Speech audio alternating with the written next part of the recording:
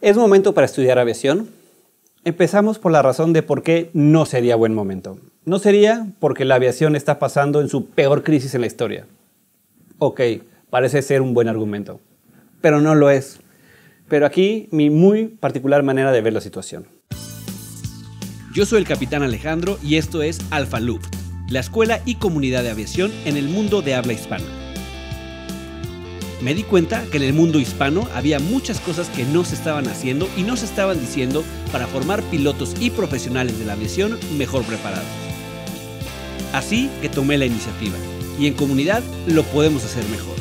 Si quieres comenzar o continuar tus estudios en aviación, estás en el lugar correcto.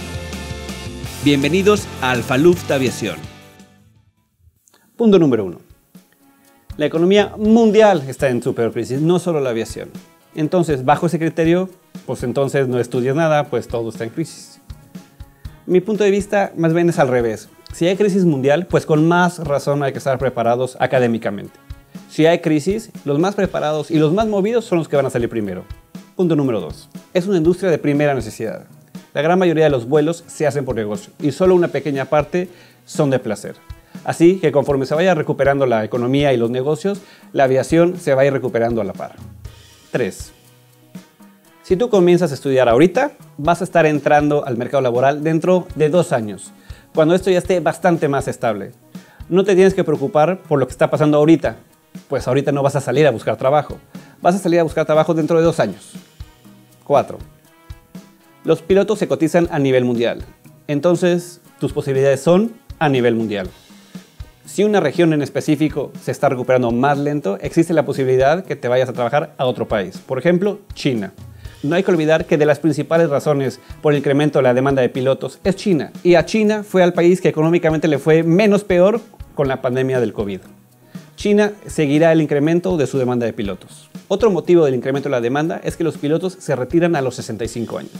Pero esta crisis provocará que muchos pilotos se retiren antes, por lo que se liberarán más espacios antes de lo pronosticado. También van a haber movimientos en la forma que se utiliza la aviación. Personas que siempre han tenido la posibilidad de, volar en aviones privados y antes no lo hacían, pues no era necesario. Ahora, derivado de esto, comenzarán a, viajar más en aviones privados, pues se sentirán más seguros. Además, quizá algunas personas de las poblaciones más vulnerables solo viajen en avión privado para disminuir las posibilidades de contagio. Otra razón que puede incrementar la demanda de vuelos privados es que las grandes aerolíneas pueden recortar rutas y ante eso se vuelve más redituable la aviación ejecutiva, pues rutas en las que antes había vuelos directos ya no los va a haber y tendrías que hacer escalas. Un ejemplo, por ejemplo, una compañía no va a tener a sus altos ejecutivos haciendo escalas por todo el mundo uh, para llegar al destino. Se vuelve muy caro y poco eficiente para las compañías, pues pierden tiempo y gastan más en viáticos. Por lo tanto, lo que va a incrementar la demanda para pilotos ejecutivos. Un piloto ejecutivo lleva en promedio de 5 a 10 pasajeros, en vez de 150 pasajeros que llevaría un piloto de una línea comercial.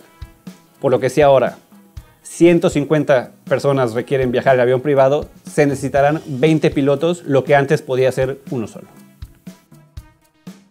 La aviación no solo es para trasladar personas, también se utiliza para transportar carga, topografía, fotografía, fertilizar plantíos, traslados médicos, etc.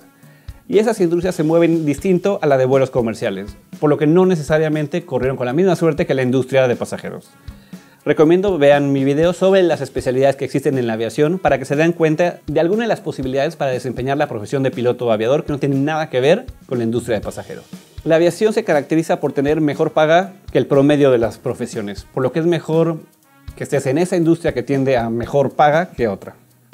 ¿Eres de los que se queda sentado esperando que llegue el momento perfecto para todo y nunca hace nada? ¿O eres de los que salen a buscar y crear las oportunidades? Si eres de este último grupo y te gusta la aviación, se estudia aviación, porque pase lo que pase con la economía, tú siempre vas a encontrar la manera de seguir avanzando.